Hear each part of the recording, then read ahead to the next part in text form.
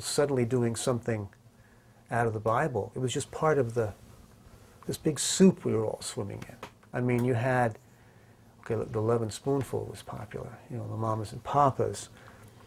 There was a strong folk element, and I think it was understood by anyone who paused to think about it was that folk borrows from tradition. And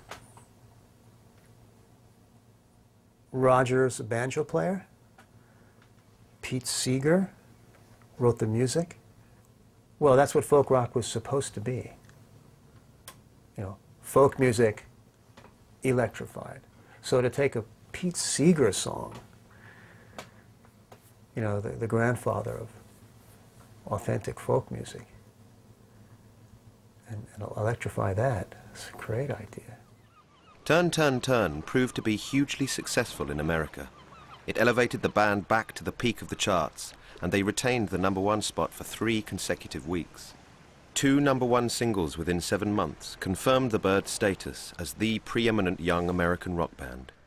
This place was driven not because it was a music capital, not by uh, thoughts of fame or fortune. People didn't do that. It was not a con conscious thought, really, until the Byrds. Then we saw what that David Crosby looked good in a Porsche. You know, we saw there was something, there was some gain uh, at, at going commercial, being commercial, having a commercial success. People started to seeing that, and some of them entered that industry because of what the Byrds signified. And they, what they signified, I think, at the time, was a surgical kill. They got to be part of the industry, they served the industry, but they actually did it without and in any way reducing what their uh, political urgency dictated. And you couldn't go wrong with Turn, Turn, Turn. It was biblical in origin, and it played in Peoria. Columbia hurried out Turn, Turn, Turn, the album, just in time to catch the traditional Christmas retail boom. The record was a cautious advance from Tambourine Man, much the same sound, but with less reliance on the Dylan songbook. Again, the original material was largely supplied by Gene Clark.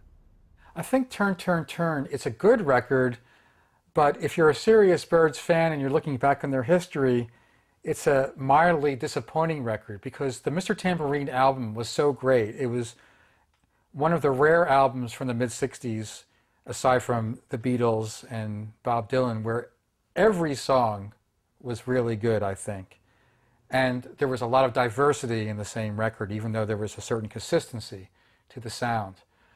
But on Turn, Turn, Turn, it sounded like they were treading water to some degree. There weren't any songs on, or recordings on the album that were nearly as good, I think, as the Turn, Turn, Turn track or single itself.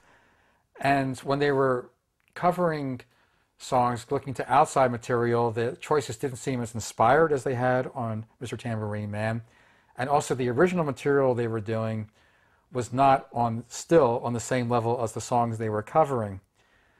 An example of a way in which their songwriting was growing, however, was the track Set You Free this time, where Gene Clark's lyrics are starting to take a more mature, sophisticated, even a little bit of a strange tinge.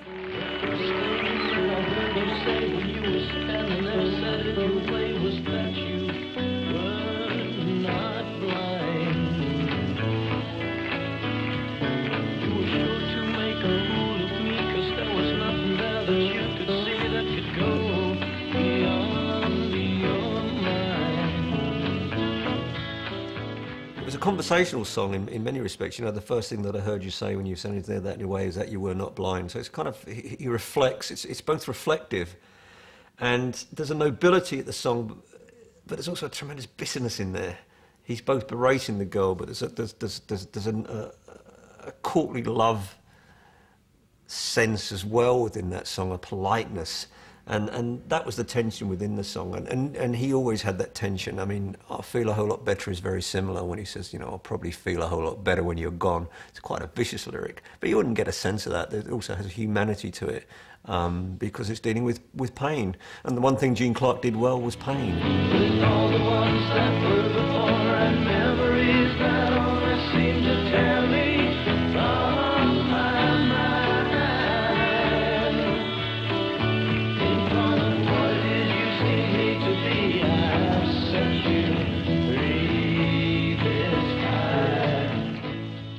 getting into more of the folk country backgrounds, which are obviously dear to their hearts to some degree.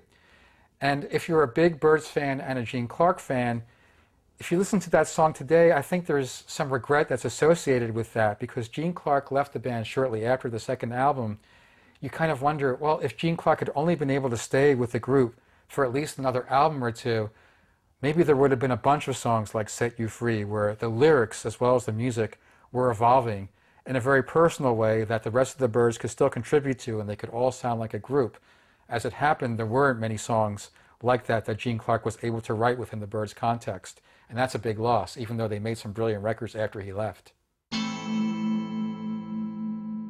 The Byrds begun 1966 rolling under the twin forces of great creativity and enormous consternation. Though they had been working on what would become one of their landmark recordings, Eight Miles High, the band suffered their first serious fracture as both producer Terry Melcher and major songwriter Gene Clark parted company with the group. Uh, there are a lot of factors contributing to why Gene left, and, and uh, but the point that you raise is really a good one: is what would have happened if he had stayed? You know, if you look at his body of music, and if you, you look at you look at the lyric content and the way that he put chords together, and, and like Chris Hillman is quoted as having said that he never saw Gene read a book, nor did I. He was not a reader, as far as any of us know. But he understood words on a, like, like an intuitive level, almost like somebody putting together pieces of tile, you know? And uh, the way that he wrote, like we'd be in a hotel room or something and we'd have, you know, our guitars and he loved to physically write out the lyrics as we were composing like the way they looked on the page. He wrote in all capital letters. He had a certain reverence for the way that the lyrics, even before they were finished, the way they looked on the paper. So it was kind of, it was almost like this guy, when he wasn't writing, right, was the last person in the world that you would expect could do that. And yet when he did it, it was like you realized, this is amazing. This is really amazing. And he, he had a, uh, a way that he heard chords that was really uncommon. Obviously, they lost those songs.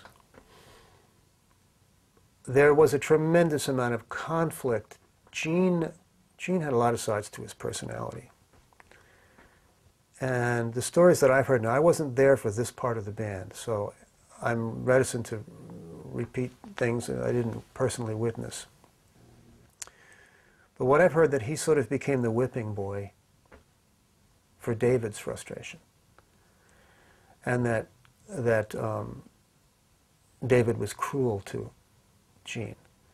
Like I say, I didn't witness it, but they lost a great deal of conflict, as well as musical potential, when, when Gene left. There was something going on in that band that I think was painful for everyone. They'd also lost their producer, my goodness, apart from anything else. Not only they'd lost Gene Clark, they'd also lost Terry Melcher. Um, they fired him. One of the most stupid things they ever did. They fired Terry Melcher because he got drunk on the set, and Crosby didn't like him anyway. Um, and McGuinn went along with it. Well, I was sorry to see uh, the Byrds and Terry take uh, different routes. It was like watching some people that you love who are married get get divorced, and you know you don't know how to extend your your loyalties. Terry was asked once to by a reporter to name the person, I, just as a, an afterthought to a, a documentary in which he appeared, to name the uh, the most objectionable character he had ever met in music. And Terry, without missing a beat, said, that would have to be David Crosby.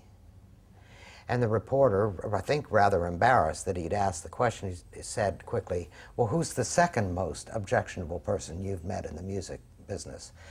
Terry said, No problem there, Charles Manson. It didn't go down very well with the hierarchy at CBS, but of course, neither did the leaving of Gene Clark. And those two things happened pretty well, you know, within weeks of each other. There wasn't there wasn't much time between Melcher leaving and Clark leaving. It just you know, two very important units in the whole story just just just gone. And dispensed with with a certain carelessness. I mean, it's it's it's amazing looking back. It, again, the insouciance of the Byrds is is incredible. You know, did they beg Gene Clark to come back and tell him that it would be a mistake? No, they just just accepted it. Okay, ah, well, you know, you know, they're very philosophical about it. Melcher goes, oh, we'll just get another producer. That man on the end is Jim McGuinn. The one playing bass is Chris Hillman. The one playing drums is Michael Clarke. And I'm David Crosby. And when we are together, uh, they call us the Byrds. Despite the upheavals surrounding the band, the Byrds, and in particular David Crosby, were beginning to push the frontiers of their sound. Recent live performances suggested that the band were moving into a more left field sonic territory of complex, jazz infused rock.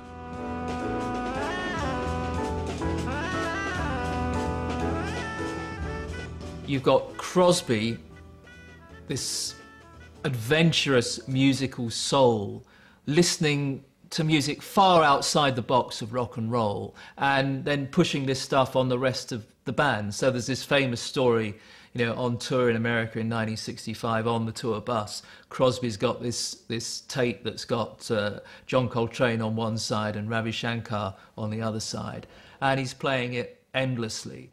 Uh, and um, this all then emerges really as Eight Miles High. Um, one of certainly one of the first records that you'd you, you, you'd categorize as uh, uh, psychedelia.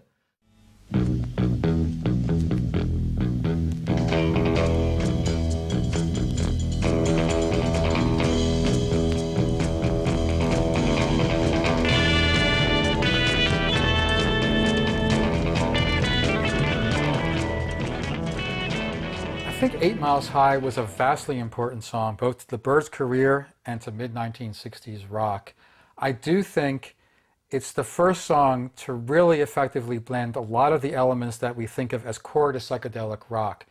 And that is combining folk rock and Beatles type rock with some